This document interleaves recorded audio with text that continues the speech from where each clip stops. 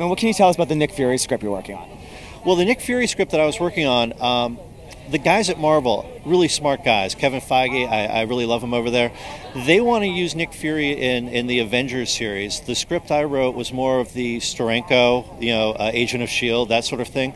Part of their concern is that Nick has never really carried his own uh, series. You know, there have been limited runs, you know, special special editions, and I think what they're hoping to do is educate the mass audience on Nick Fury before they jump into it. And honestly, the stuff we did in that script with the helicarrier and having the helicarrier go down, it's expensive. So they just want to make sure that you know they have the fan base for that.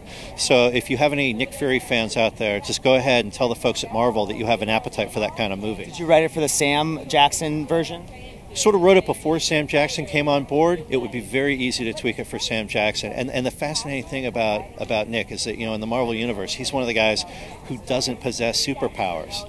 He just you know it's it's it's his it's his will, it's his strength. It's he's the kind of guy who you know who will go toe to toe with you in a fight. You know, he's got that Lee Marvin attitude.